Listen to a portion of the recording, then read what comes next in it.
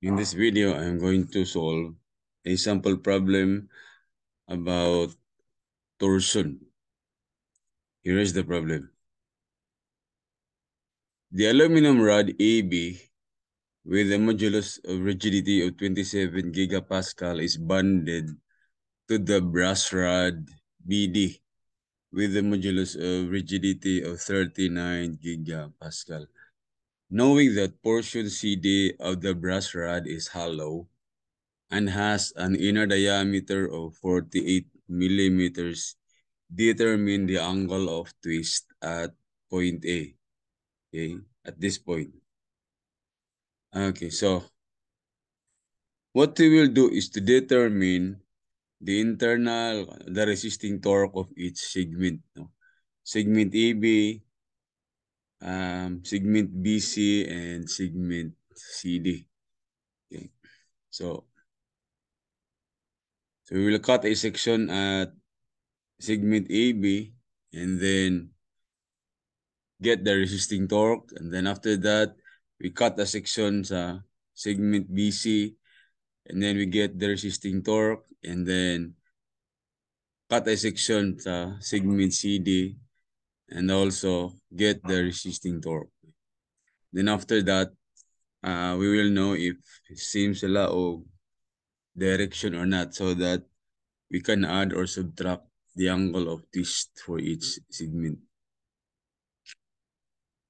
So for segment AB, since we only have this torque TA 800 Newton meter, then to maintain equilibrium, AB will resist a torque opposite sa uh, 800 which is uh, counterclockwise, i-resist siya o clockwise.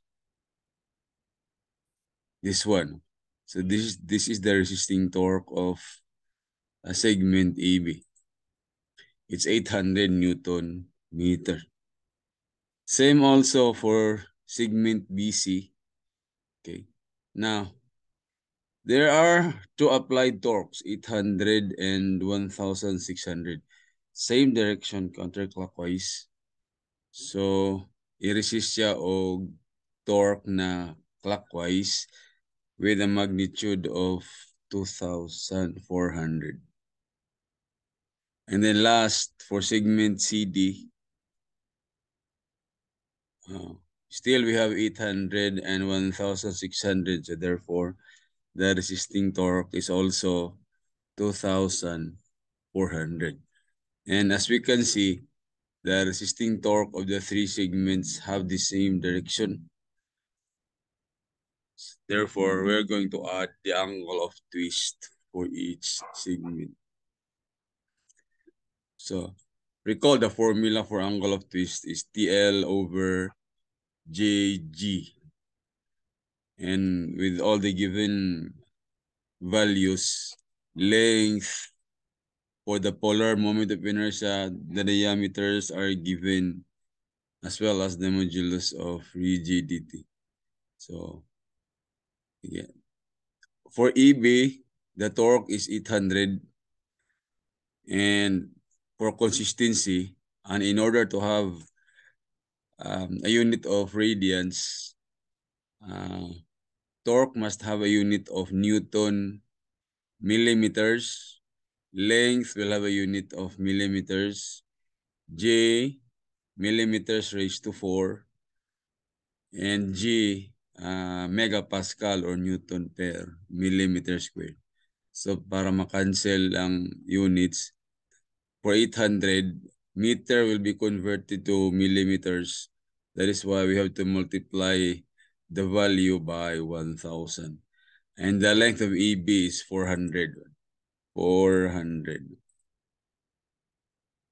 And for a solid shaft, the polar moment of inertia is pi over 30 to diameter raised to 4. And the diameter is 36 millimeters. And then the modulus of rigidity is 27 gigapascal. So we have to multiply the value by 1,000 para megapascal na. So we have 27,000. and the unit is radian. So the value is point zero zero seven one nine radians. We do the same for segments BC and CD. for BC, the torque is 2,400 and then conversion factor from meters to millimeters, length of 375, and then diameter of 60, here 60,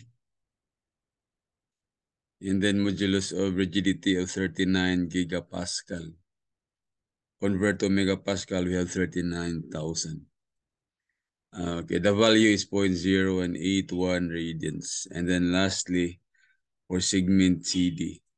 For segment CD, since nine hollow part, the, uh, the polar moment of inertia is pi over 32 outer diameter raised to 4 minus inner diameter raised to 4. The length is 250 250 and the value is 0.0205 radians. So therefore, the angle of twist at point A is the sum of all the angle of twist for the three segments since ang direction sa resist resisting torque is the same.